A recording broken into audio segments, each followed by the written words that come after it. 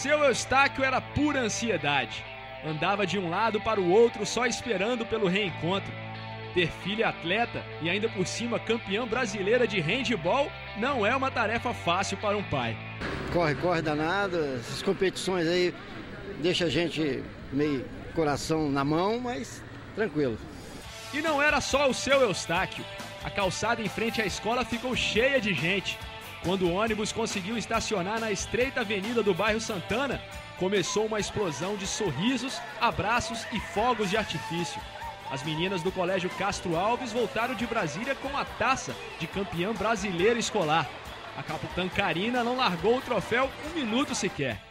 Hoje voltar com o título é muito bom, saber que tem gente que torce pela gente, pela gente aqui é maravilhoso, voltar com essa recepção calorosa, melhor ainda. Não largou o troféu a viagem inteira, né? Ah, não, teve que voltar com ele bem seguro, que a gente luta tanto para ganhar, né? Quando ganha, tem que ficar com ele um pouquinho.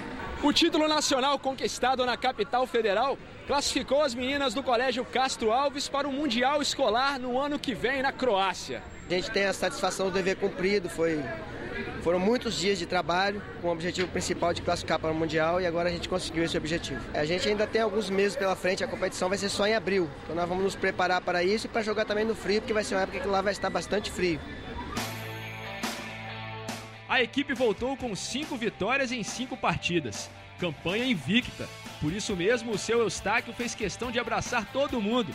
E a filhota Jéssica ela também estava com saudades. Voltar para casa é sempre bom depois de uma semana meio conturbada, mas graças a Deus a gente conseguiu terminar a semana bem, com a vitória do campeonato e conseguir uma vaga no Mundial.